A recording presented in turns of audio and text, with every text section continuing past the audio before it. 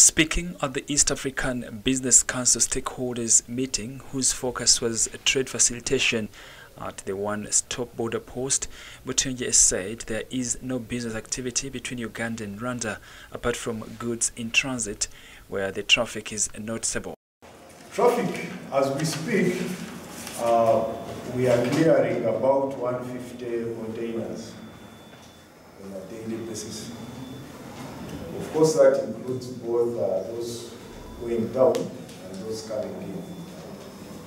But most of these containers are in transit from Kenya to Rwanda, then Rwanda to Kenya. Matonje says the Ugandan side, there is still a lot of infrastructure and construction going on to achieve the objectives of the one-stop center.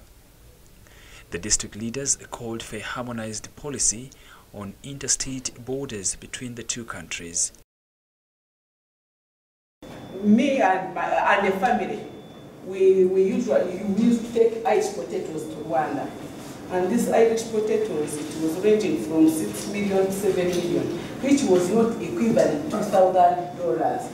But we used clearing agents eh, to, to go and clear for us so that we can go. But this, this, this business, which is not more than $2,000, I can easily come to the in-charge URA and declare my, my, my, my, my business and he can for me. But we didn't know that. We are doing nothing on them and we're not, we are not earning anything at all.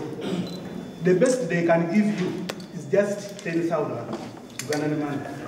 That is equivalent to 3,000 Rwandan francs.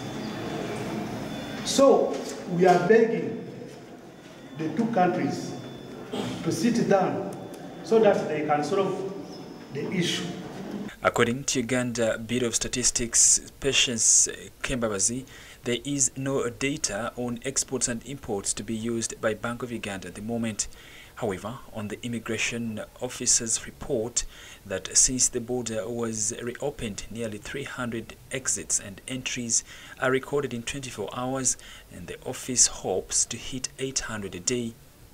The meeting attracted key stakeholders from clearing agents, traders, URA, Uganda Bureau of Statistics, Plants and Animals, Health, Security, Immigration, among others. Story by Lucius Kasoma for the news.